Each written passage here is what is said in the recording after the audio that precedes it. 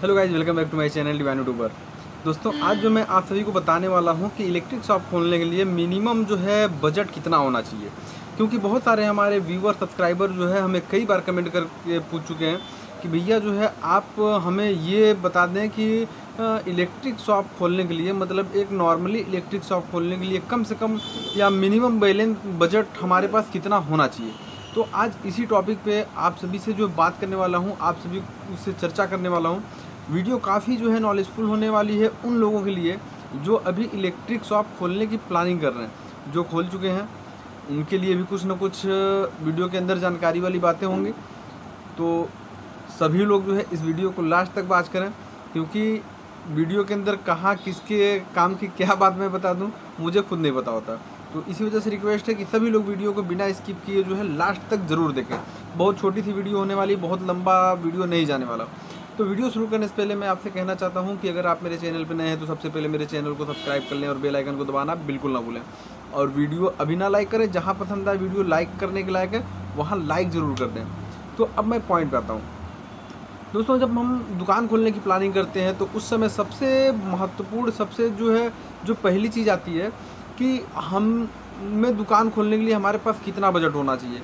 कोई सोचता है कि यार एक लाख है एक लाख में पता नहीं दुकान खुल पाएगी, नहीं खुल पाएगी, क्या होगा?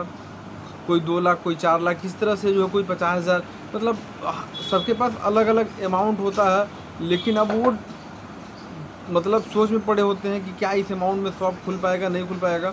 और अगर हमें एक बढ़िया इलेक्ट्रिक शॉप मतलब खोलनी है तो उसके लिए मिनिमम बैलेंस मतलब मिनिमम बजट हमारे पास कितना होना चाहिए? तो दोस्तों, सबसे पहले मैं आपको बता दूँ आप शॉप जो है किसी भी अमाउंट से खोल सकते हैं, ठीक है? लेकिन शॉप खोलने के लिए जैसे एक मिनिमम बैलेंस बजट जो होता है, कि मतलब जिसमें हमारी लगभग लगभग हर तरह की रेंज मतलब अच्छा खासा रेंज हमारे पास जो है हो जाए, उस, इस तरह की जो है शॉप खोलने के लिए कम से कम जो है आपके पास जो है तीन से चार लाख का बजट होना चाहिए, ठीक है? तीन से चार लाख का बजट क्यों होना चाहिए? क्योंकि जब तीन से चार लाख का बजट होगा तो उसमें हम लगभग हर तरह के जो है सामान रख पाएँगे। मतलब इलेक्ट्रिक शॉप खोलने का मतलब तो हम जो है मतलब कुछ तार, कुछ बल्ब कुछ टू पिन प्लग कुछ स्विच साकेट ठीक है? मतलब जो लूज तार होता है, जो टेम्परेरी तार होता है लूज तार वगैरह सब रनिंग आइटम में आता है। तो इस तरह के छोटे छोटे सामान रख के तो हम पच्चीस से पचास हज़ार रुपये में भी जो शॉप खोल लेंगे। थोड़ा थोड़ा हम ले लेंगे। जो मतलब पचास पीस की पैकिंग उसको हम पच्चीस ही ले लेंगे। जो मतलब दस पीस की पैकिंग है उसको हम दो ही ले लेंगे। इस तरह से करके हम जो है, शॉप तो जो है पच्चीस हज़ार से पचास हज़ार में खोल सकते हैं। लेकिन जैसा कि मतलब एक हर व्यक्ति चाहता है कि मतलब हमारे वहाँ ग्राहक आए, कोई भी सामान मांगे तो घूम के न जाए, हमारे वहाँ अवेलेबल हो।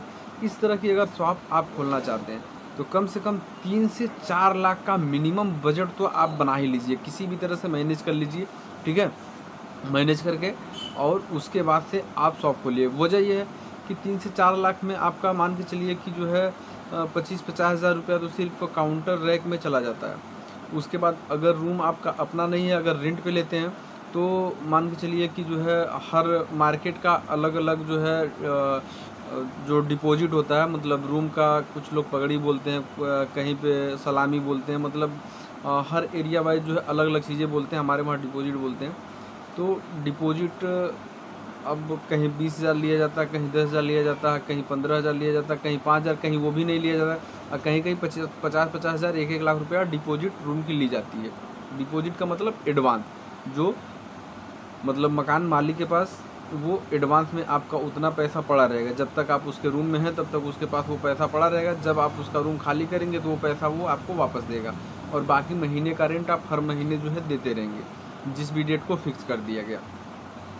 तो अब सोच लीजिए कि अगर मान लीजिए बिना डिपॉजिट के रूम मिल गया, तब तो ठीक है। अगर डिपॉजिट लग गई तो अब डिपॉजिट के ऊपर तो कुछ तो इसमें चला जाएगा। उसके बाद हम मार्केटिंग करेंगे।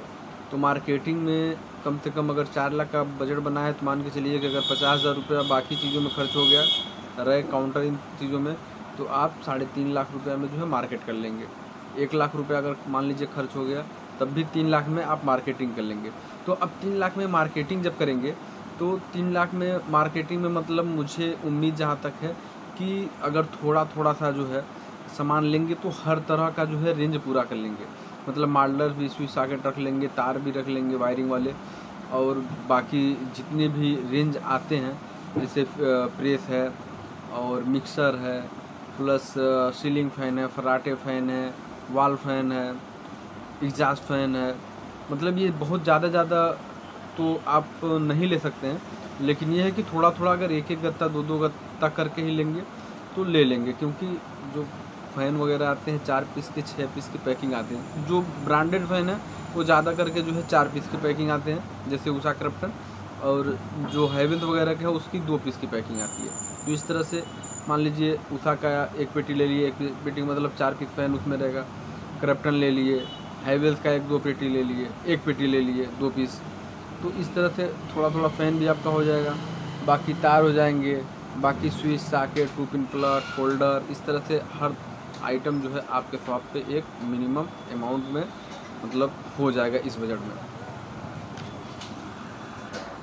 तो दोस्तों, इस तरह से हर आइटम आपके पास हो जाएगा। जैसे लोहे का बोर्ड हो गया, लोहे का जो कंसिल बोर्ड आता है, और फ़ैन बॉक्स है कंसिल बॉक्स है deep junction CI junction pipe मतलब हल्की पाइप हैवी पाइप इस तरह के जितने भी आइटम हैं, ये सारे जो है रनिंग आइटम में आते हैं। तो ये सब आइटम थोड़े थोड़े आपके पास इतने अमाउंट में लगभग सब कुछ हो जाएगा। मतलब देखने में आपकी दुकान लगेगी कि हाँ आपकी दुकान है, कुछ ठीक ठाक है। तो इसी वजह से जो है, बाकी तो आप समझ गए होंगे। जब आप मार्केट में जाएँगे, वैसे ही आपको समझ में आ जाएगा कि इस अमाउंट में जो है, बस ये है कि ज़्यादा ज़्यादा ये नहीं कि एक ही सामान ज़्यादा ज़्यादा ले लें आप। हर चीज़ जो थोड़ा थोड़ा लीजिए, कि मतलब ये ना हो कि ये सामान आपके पास ना हो। भले ही एक ही डब्बा लीजिए, लेकिन उसे कम से कम आप अपने दुकान पर रखिए। ठीक है?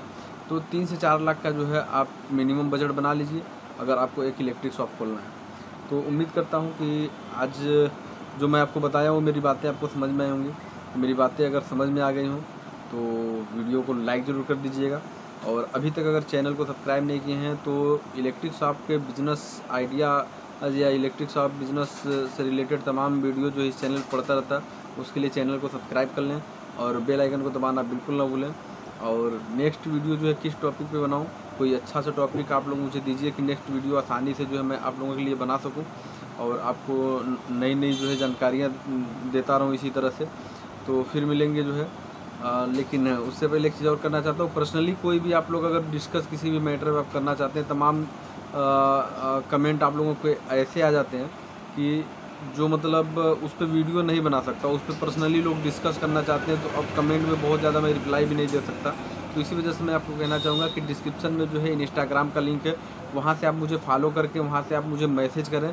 मैं उस पर रिप्लाई देता हूँ उस पर बिल्कुल मैं सभी से बात करता हूँ जितने भी लोग मुझे मैसेज किए हैं। हर व्यक्ति जो है जानता है कि मैं उस पर रिप्लाई देता हूँ बहुत सारे लोगों से। ज़रूरी होता है तो मैं वहाँ से, वहाँ पे अपना नंबर भी शेयर कर देता हूँ।